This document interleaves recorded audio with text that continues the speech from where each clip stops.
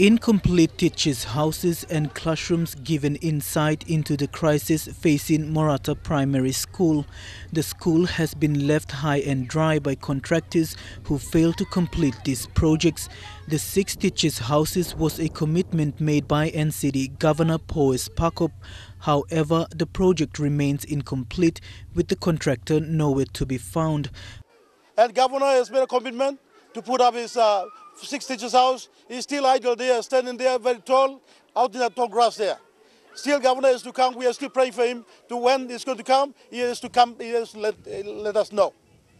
Up till now, up till now, there's no such uh, uh, projects going in here. Much of the school's infrastructure was built in the 1980s. The only development was a double classroom built in 2002. The school board claimed three contractors have recently submitted claims to the Education Department for funding of a new double classroom.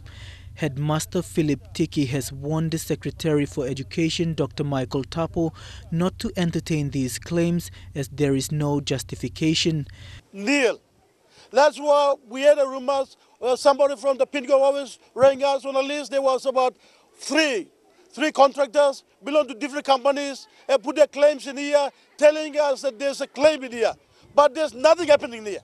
Student numbers have also increased to 17,000 this year, with a teacher-student ratio of one teacher to 70 students.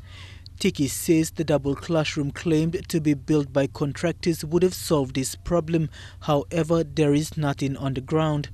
The school has 29 teachers, of which only one resides on the school premises. The staff houses, if completed, could have saved the life of one of their teachers killed last year. Tiki describes this as corruption and wants immediate investigations carried out by relevant government agencies. Mickey Cavera, National MTV News.